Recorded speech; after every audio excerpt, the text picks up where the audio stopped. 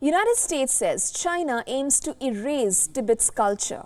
Yes, Washington has accused Beijing of pursuing a forced assimilation policies on the children in Tibet, which, as you may know, is a region in southwest China that Beijing claims to be a part of its own territory.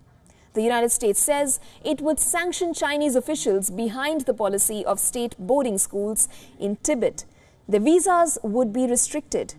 US Secretary of State Antony Blinken described the policies as an attack on Tibetan culture.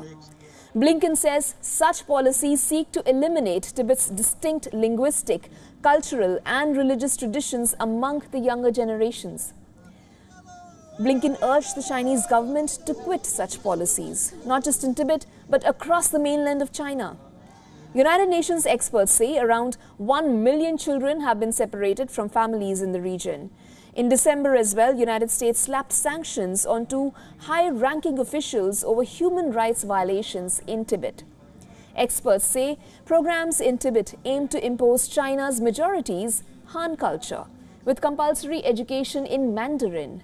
Not only this, reports reveal that China has pushed thousands from traditional rural jobs into low-skill vocational training to bring uniformity and undermine their identity.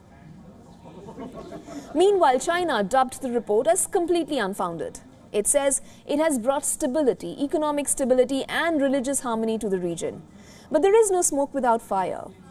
United States has been accusing China of waging a genocide in another region, Xinjiang as well, where witnesses say Beijing operates forced labor camps.